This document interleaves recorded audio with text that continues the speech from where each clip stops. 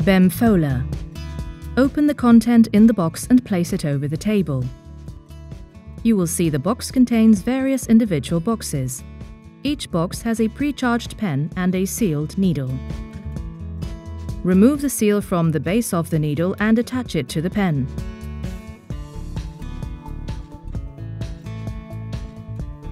Remove the external protection cap and then the internal protection. Hold the pen with the needle side up. With the needle pointing upwards, press the plunger to its limit. A drop of medication will come out.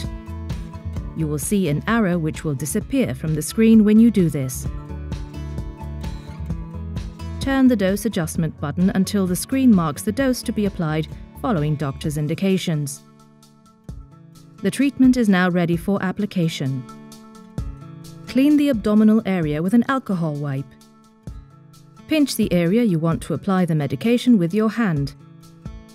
With the other, take the syringe and pinch the needle in the skin in a perpendicular position. Squeeze the plunger until the end. Then remove the needle gently and apply pressure for a few seconds over the treated area.